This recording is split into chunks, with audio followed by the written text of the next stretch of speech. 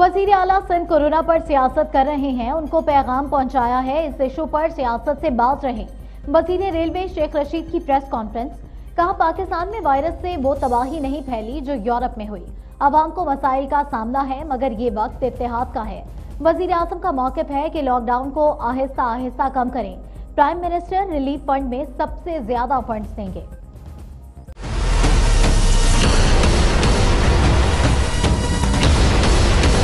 और अल्लाह के हुक्म से इस वक्त कोरोना जो है वो कंट्रोल में है। और ये सारे मुल्क, ये जो मैंने कल टीवी पे बात की थी, जिनके साथ तान लगता है, पाकिस्तान, हिंदुस्तान, तुर्किस्तान, काजिकस्तान, अफ़गानिस्तान, यहाँ वो तबाही नहीं फैली जो यूरोप में फैली है। और यहाँ वो बात नहीं हुई जो यूरोप में हुई है। जिस तरह इमरान खान का आइडिया है कि स्लोली स्लोली हम इस लॉकडाउन को हम इसको जो काम करने वाले लोग हैं जो रोज़ाना की बुनियाद पर अपना घर का सौदा सलफ चलाते हैं वो आगे आ सकें। और मैं सानियों को खास तौर पर मुबारकबाद देता हूँ। आसान काम नहीं होता काम करना। लोग बड़े कीड़े निकालते रहते हैं। और कुलियों की मैंने दोनों कैबिनेटों में बात की है। थोड़ा सा मसला है। सारे डीएसएस ने अभी भी कुली मुझे मिले हैं जी के हमारा आ, हमें बारह हज़ार नहीं मिले। ये सोलह कुली हैं, जहाँ हमने एक करोड़ 20 लाख लोगों को ये इमदाद दी है, जो दुनिया में, पाकिस्तान की तारीख में, इमरान खान के दौर में बहुत बड़ी इमदाद है। और मैं सानिया निश्तर को इसकी मुबारकबाद देता हूँ।